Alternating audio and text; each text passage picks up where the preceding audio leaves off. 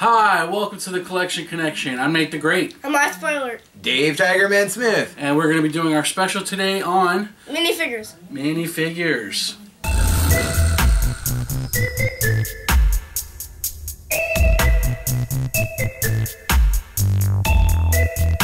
Mini, mini figures. Yeah, the many minions of mysterious minifigures.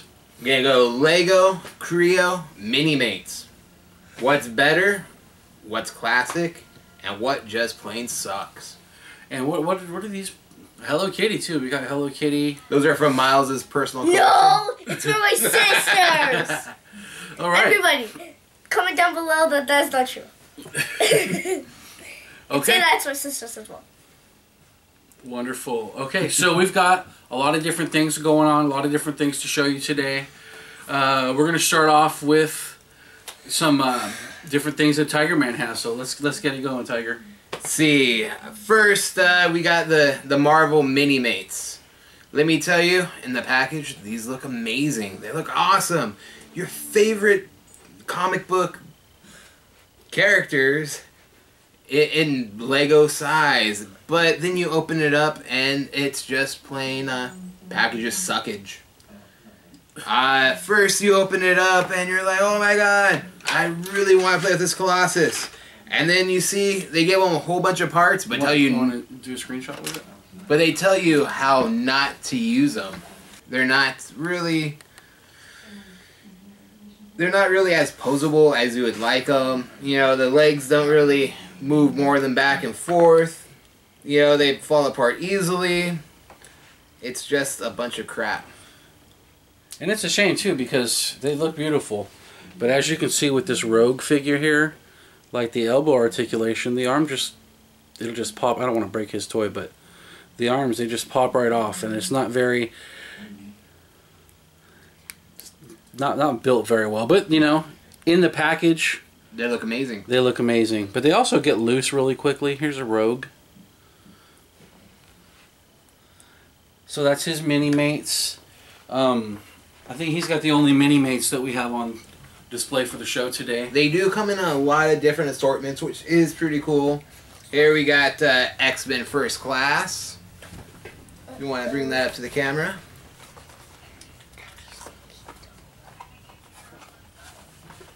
Here's a uh, a couple more from the X Men line.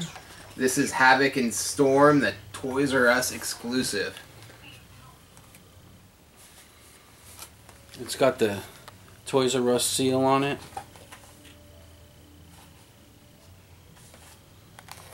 And here we have the Brood Wolverine with the Brood. This was actually the variant.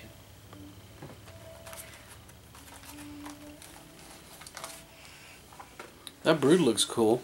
It, it looks awesome in the package, but you open it up and just It's a uh, piece of crap. yeah, yeah. It's like it's like opening it up to, to a Dutch oven. It's like it's like opening it. It's like opening it up, and then it's just a piece of crap that you spended your money on. That you wasted money.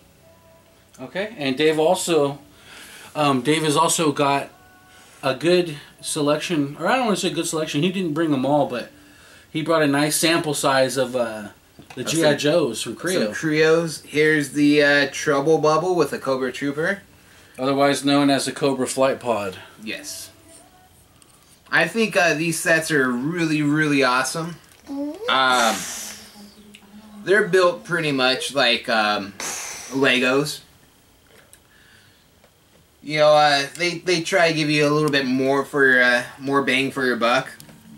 You But don't have a again- Terrordrome? Not yet, It's out. is it? It's out. Wow. Here's uh, the Crimson Guard. This was actually one of the cool things they do is the blind packs. Uh, these are actually really hard to find, but the cool thing about them is if you know the code on back, you can get what you want every time you want. Hey, that's cool. Here's the Firefly, one of our favorites. Cobra Saboteur. Here's Cobra Commander. Cobra Commander right there, which is actually pretty cool. Chrome dome and everything. Here's the the Duke figure. I accidentally put him in suicide pose with the gun on himself. I did that. Suicide. I think the uh, the Kreo GI Joes are actually a really really good idea by Kreo. Um, the Transformer Kreos were actually really cool. The the downfall that they had though was they didn't transform without adding parts, taking them away. So it wasn't really a transformer. It was just a couple sets. So you've also what else do you have? I have the Ninja Turtle Legos. Oh, awesome! Just about. He's got all four turtles and And a some- couple foot. I have the rest at uh, at home, but uh, didn't bring them. Um, Yeah. Because, it would- It's it's a lot to bring. yeah, it's like a whole entire city of Legos. It is. Like our garage was like the most biggest thing in the world. Yeah, for those of you who know me, I'm a big Lego fan. I've got an entire Lego workshop in the garage, hundreds of pounds Of Legos. of Legos, buildings, customs. Actually, made made a little bit of money doing Lego commissions for different people. Dog Pound. which is actually a really cool figure. The thing I love about the Ninja Turtle Legos is they weren't afraid to make new molds. Lego's been getting a lot better with that lately. Yeah. All right, what do you have here, spoiler? I have a Spider-Man. Spider Man. Now, this is a good set that came out from Mega Bloks. Mega Bloks. And these, out of all of the minifigures, they have like a lot of different Marvel figures Wolverine, Spider Man, a lot of the Avengers. But if you look at this Spider Man here, and he's, he's he, this guy's got some play on him from spoiler alert, but he's got a ball and socket head joint, so his head, he's got all the movements, shoulder joints, elbow, wrist articulation. He's got waist. Oops, took his leg off. Waist articulation, uh, leg and knee. These guys are probably the most fully posable of all the minifigure and across all of these brands. So, and they've got the little hole in the back that you can plug in backpacks, kind of like GI Joes from the from the 80s. Awesome figures.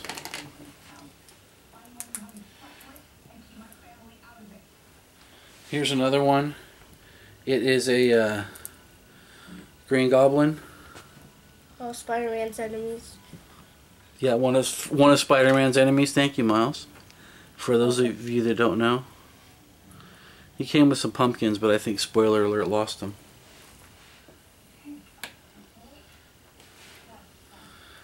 Sandman.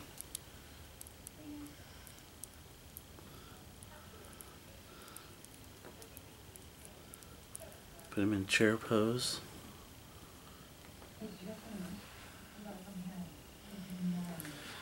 Iron Man. Oh, Spider-Man. And the really cool thing, I like I said about these, is the actual knee articulation that you're not going to get in your typical minifigures. Halo. A person that tries to get something from monsters. Okay. And then here's a uh, Kreo Optimus Prime. And like Dave was talking about before, they're really cool looking. You got a pretty authentic looking weapon. And uh, it's cool. The thing is, is that it just doesn't transform. And then the ones that did transform, You had to add transform. parts. yeah, you would take ba- you would basically the ones that you do have to transform, you would disassemble the entire thing as a as a truck. You would assemble a truck and then you would totally dismantle it and use those parts to build a robot. Yeah. It wasn't like one big hunk of something that you can transform into another hunk, which I think if they would have put a little bit more. More effort into it. And here we have from Mega Bloks some zombies. That's from the Call of Duty uh, Nazi zombie sets.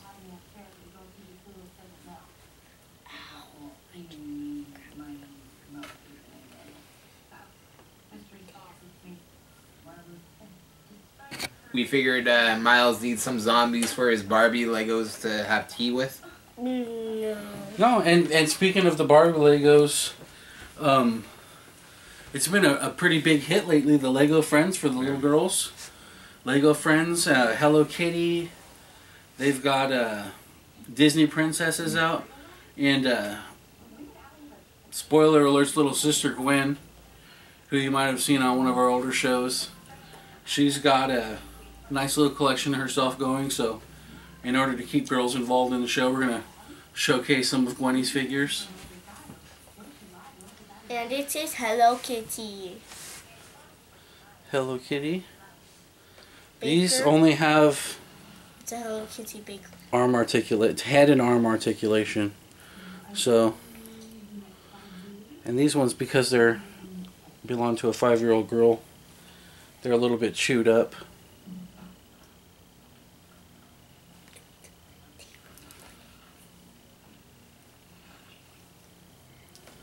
And then from the Lego Friends, they've got the girls. The leg articulation, the legs are kind of stuck together, which is good for girls, I suppose.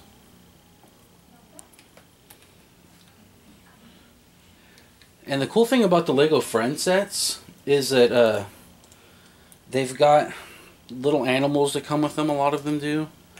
This guy kind of reminds me of Simba. And and we're talking about the Disney princesses. You've got uh, Ariel here.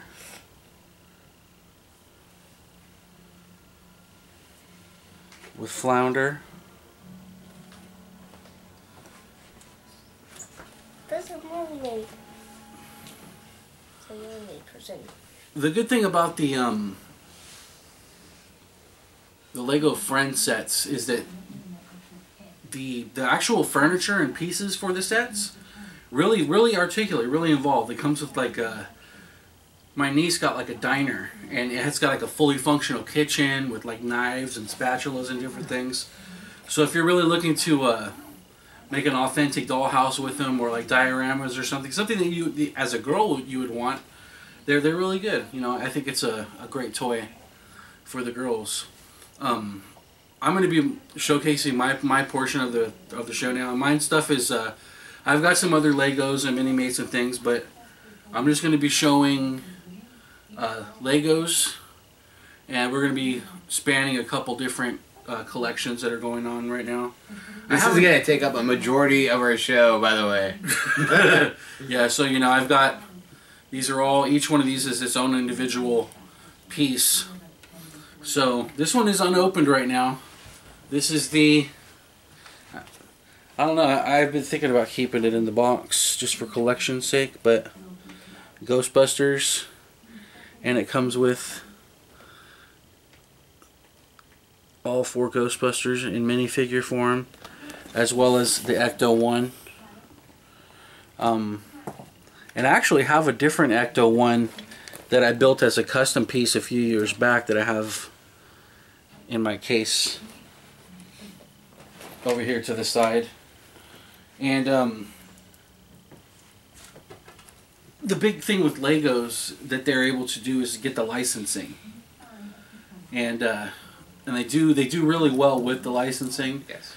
And I think some of the first sets that they had, um, I think their their brick and mortar was getting the Star Wars license. Yes, definitely. Definitely. So, I've got quite a bit of the uh, Star Wars minifigures here.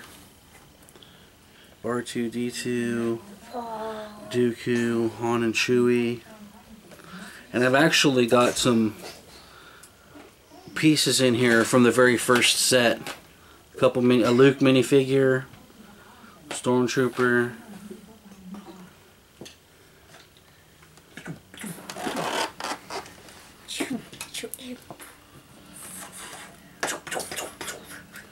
I touched. A couple more of the Star Wars sets. Sound effects provided by the boys.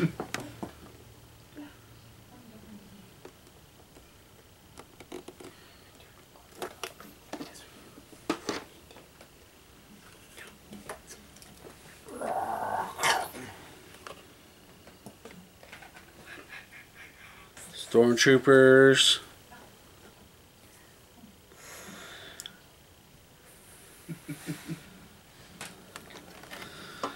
Okay, so one of my favorite uh, licenses that Lego is able to pull, it's now out of print, and um, what do you say out of print? It's not a book, but It's uh retired.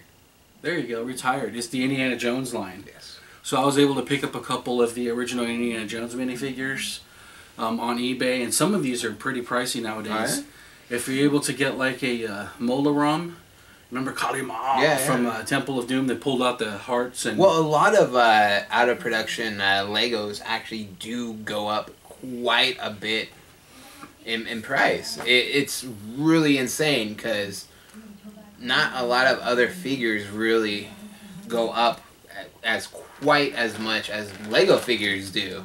Oh, Yeah. Legos dropped. That, that's my second. That Ghostbuster set I got. It was my second one. When it, the day they released it, Yeah. I picked it up, uh, sold it on eBay. I, I got like a twenty five percent markup on it. Yeah. Took the money, went and bought another one to keep. So, okay. So let's see what do I got. Let's see. Hold on to those still. I want to show off this Indiana Jones along with the. I don't have a ton of the Indiana Jones. But I've got Indiana Jones and uh, and his father. Then I've got some uh, miscellaneous turtle figures in here.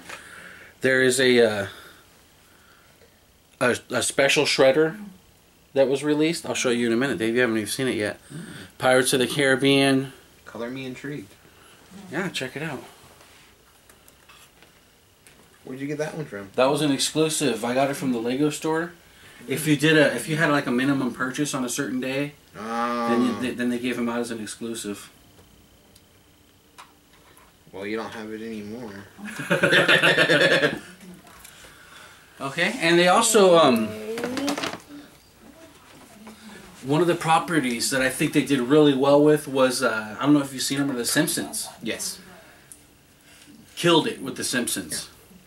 The uh, they were able to release almost perfect sculpts of The Simpsons, but really keep true to the to the uh, to the minifigure vibe without kind of reconstructing them.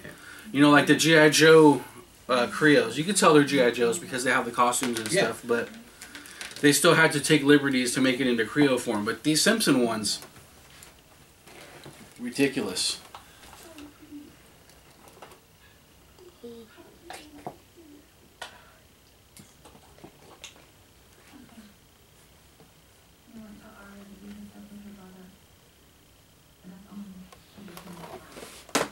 And uh, I had to get the whole the whole set, so I got the whole wave of the Simpsons, at least in the uh, individual mini packs.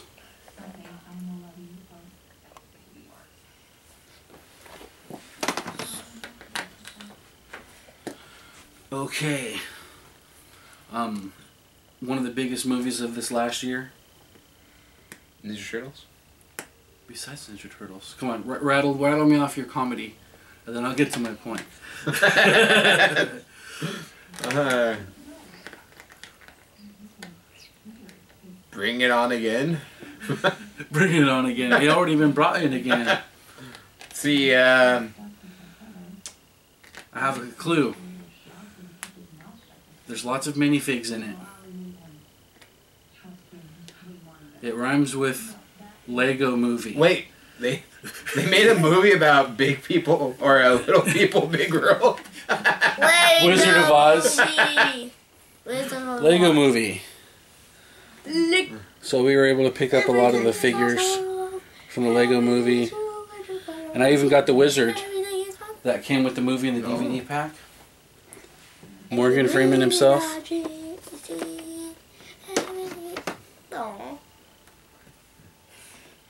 Okay, now these are my favorite. The Marvel and DC Marvel, yeah. minifigs.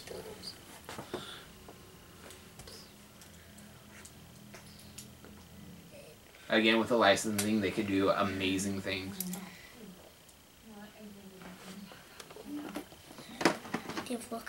And lastly,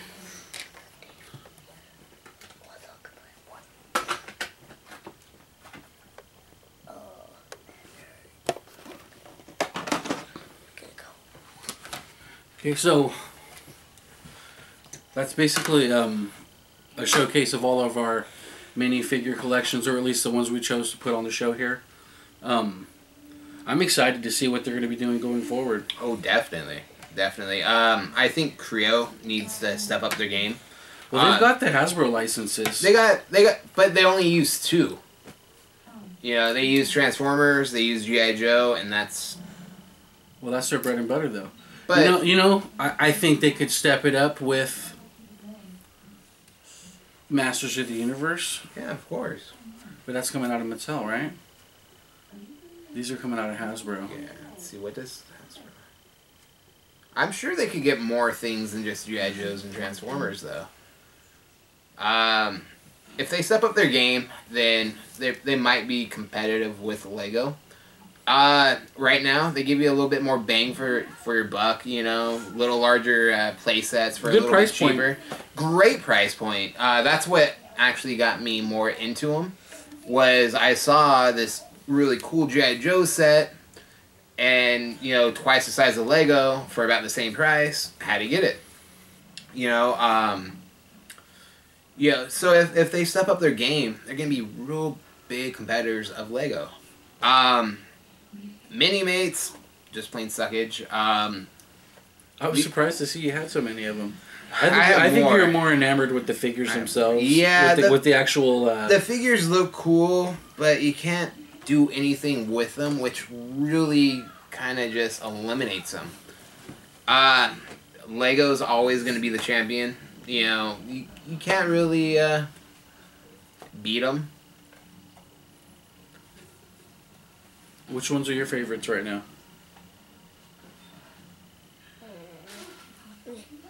The Mini Mini Mates? Even though they come apart? Even though they suck. Okay, not that, but.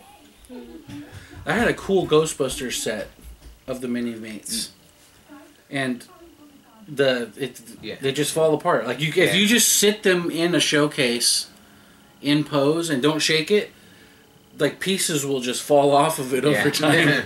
yeah, it's it's really uh, shoddy manufacturers. Thing. Um, yeah. Miles was playing with uh, Cobra I'll Commander. fix it. It was broke to pieces. Okay, so um, feel free to like, comment, subscribe, and uh, and and share. You know, if you want to show somebody about what we got going on with the collection connection. I think that's going to conclude today's episode on the minifigure. So, for the collection connection, I'm Nate the Great, Come on, spoiler. Dave Tigerman Smith. and we're signing off. We'll see you next video.